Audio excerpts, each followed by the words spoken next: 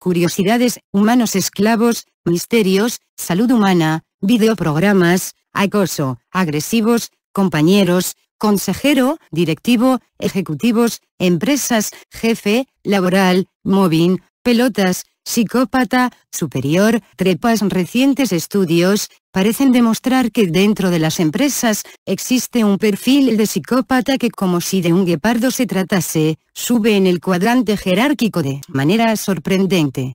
Al parecer, dentro de los mandos de dirección de las empresas, se han encontrado cuatro veces más de perfiles psicopáticos que en la gente normal de la calle.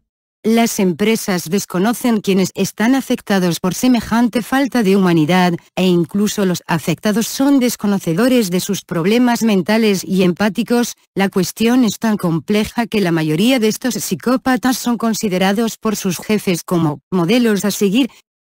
¿Es su jefe un psicópata? Al final del video evaluamos con unas sencillas preguntas si su jefe puede tener algún grado de psicopatía.